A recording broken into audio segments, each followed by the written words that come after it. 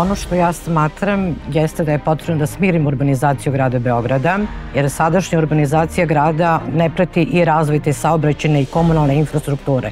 Mi smo svedoci da u zadnjih 15 godina imamo navalu tog investitorskog urbanizma, a sa takvom stambenom izgradnjom i komercijalnim sadržajem koji imamo, mi nemamo adekvatnu širinu gradskih saobraćajnica i rešene komunalne probleme grada Beograda. Uz pravilno funkcionisanje i raspodelu sredstava u gradskom budžetu, mislim da bi prvenstveno trebali da se posvetimo tim projektima koji su započeti, oni se što pre moraju aktivirati i realizovati da bi grad mogao pravilno da funkcioniše.